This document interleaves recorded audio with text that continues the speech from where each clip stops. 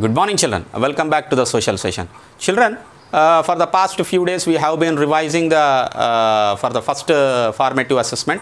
Hope uh, you have gone through the first three units. That is uh, our Earth, lithosphere, and even about the hydrosphere. Let me quickly recapitulate. Under our Earth, we have seen the origin of the Earth, children. You, you remember about the Big Bang theory? Big Bang theory.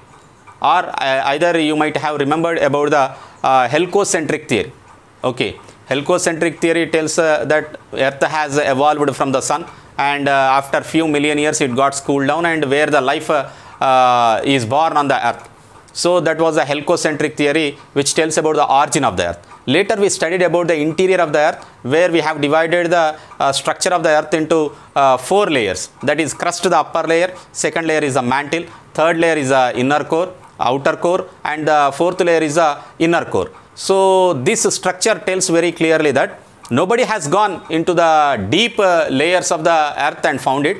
Only with the help of uh, the satellites we able to study about the interior of the earth. But you remember children the core of the earth consists of 70% volume of the earth than the crust of the earth. So crust of the earth extends only up to 100 kilometers but the diameter of the earth or uh, what we call the, from the center of the earth to the crust it uh, is uh, nearly 6000 kilometers. So remember at the center of the earth it will be very hot than at the top of the earth than on the uh, upper layer of the earth. So this uh, heat uh, makes all the material which is present at the center of the earth to be in molten form.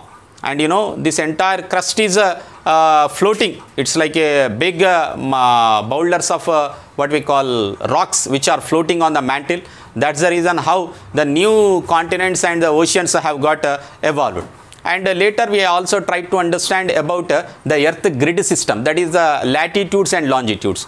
The important latitudes and important longitudes we have seen the distribution of the uh, earth grid system. The network of latitudes and longitudes is called as earth grid system there are important latitudes like 0 degrees latitude we call it as equator. 23 and half north is called as tropic of cancer. 23 and half south is called as the tropic of capricorn. 66 and half is called as arctic circle. 66 and half south is called as antarctic circle.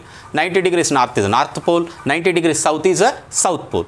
So likewise there is also important longitudes like 0 degrees longitude is called as GMT or these longitudes are also called as meridians meridians so 180 degrees longitude is called as a international date line it is called as international date line because date changes after the sun crosses this uh, line. For that reason we call that 180 degrees longitude as a uh, international date line also and apart from that uh, we also learned about uh, the theory of uh, what we call uh, Pangea and Panthasalà and even about uh, the theory which has been the hypothesis which has been advocated by the famous uh, continental drift theory by Alfred Wegener so he is a famous geophysicist Alfred Wegener has proposed that the present continents have been formed because of the movement plate tectonics. Movement is taking place. There was a supercontinent earlier called as uh, uh, pangea and there was a super ocean called as panthasalà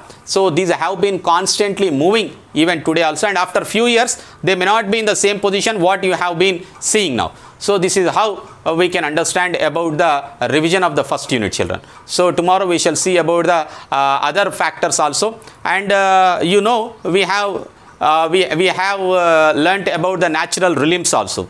That natural realms uh, what is a realm children? The areas which have the same characteristics.